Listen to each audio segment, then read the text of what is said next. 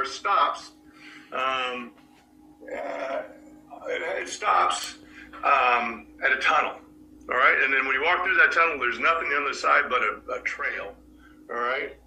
Um, so it's it, it, uh, it might be it started about three miles outside of Bryson City, and it has beautiful views of Fontana Lake and the Texas Tuckasegee uh, River, as well as encounters with woodlands and many small streams. It ends at that tunnel, and then the pavement ends after that tunnel, and you get on the you get you get on this what's called the Lakeshore Trail, and it goes for 35 miles to Fontana Dam.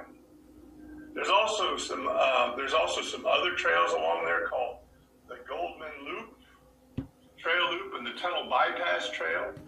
There's also old homesteads and buildings along these trails. And then there's another trail branch called the Noland Creek Trail that leads to the, the GSMP's highest peak, Clingmans Dome, uh, which is a really famous landmark uh, and place to go. It's it's uh, it's in the uh, Great Great Smoky Mountains National Park. It's the highest peak there, and it um, it's uh, there's a lot of tra- there's a lot of hiking trails that go from there as well. So it's a recommended uh, it's a recommended um, a wonderful adventure, I think. So there's a couple there's a couple great drives there that you um, you you can do. One to nowhere, one to everywhere, one to somewhere.